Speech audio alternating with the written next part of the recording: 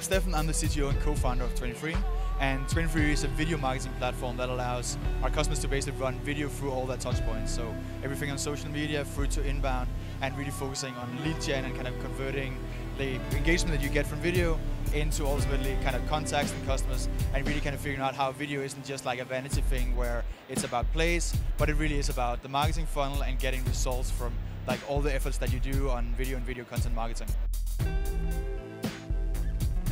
I think it's kind of like content marketing is this kind of big mega trend where like people like can relate to it and they understand why they want to be doing it.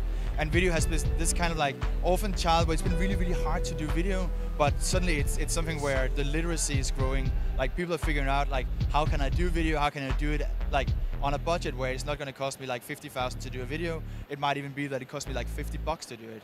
And that's very different because like you're getting to a point where content marketing is like it's finding its form, it's finding its purpose. But if you can also find a way where video is actually like producible and valuable at a point where more people can tell better stories, like looking people in the eyes and actually using video for what it does really well. It engages people well, and it also like it like humanizes the people behind the content really well. So like the cool thing about content marketing is that people can relate to it, and as video gets like more and more approachable, it also gets to be frankly a really cheap and efficient way to do content marketing. So I think that's where the conversion is coming in.